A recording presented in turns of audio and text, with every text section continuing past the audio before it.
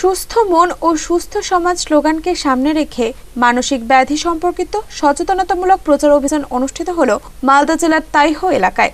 পুতুল মুখোশ শিল্পীদের পথনাটিকা এবং বক্তব্য উপস্থাপনার মধ্য দিয়ে এই সচেতনতামূলক প্রচার চালানো হয়। পশ্চিমবঙ্গ সরকারের স্বাস্থ্য ও পরিবার কল্যাণ দপ্তরের উদ্যোগে এবং মালদা জেলার সিএম ওএইচ এর সহযোগিতায় এই সচেতনতামূলক প্রচার বলে জানা গিয়েছে।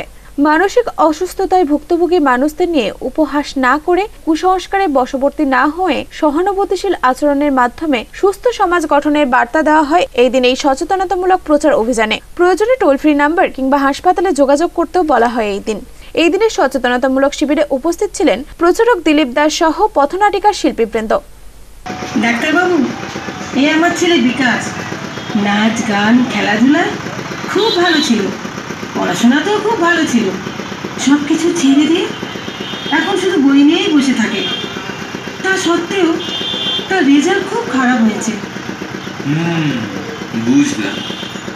নমস্কার আমি দিলীপ মণ্ডল ধূমকেতু পাপেট থিয়েটারের ডিরেক্টর পুতুল এবং মুখোশ নিয়ে আমরা সারা মালদা জেলে জেলা জুড়ে আমরা একটি প্রচার করছি মানুষকে জানান দিচ্ছি যে মনের রোগ মানসিক রোগ অন্য অন্য রোগের মতন এই রোগ সেরে যায়। স্বাস্থ্য ও পরিবার কল্যাণ দপ্তরের উদ্যোগে এবং মালদার সিওমএইচের সহযোগিতায় এই প্রচার অভিযান চলছে। মানুষকে জানাচ্ছি যে মনের রোগ মানসিক রোগ অন্য অন্য রোগের মতন একটা রোগ এই রোগও কিন্তু ওষুধ খেলে কাউন্সিলিং করালে ঠিক হয়ে যায়।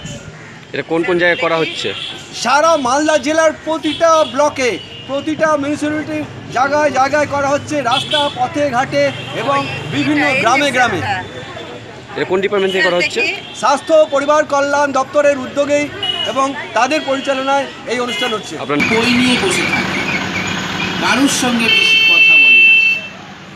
রাতে লক্ষ্য করেছি না ঘুমিয়ে বই নিয়ে শুধু পাইচারি করে। আচ্ছা একটা কথা বলি অঞ্জলি মালদা থেকে দেবাশিস পালের রিপোর্ট। আনন্দ বার্তা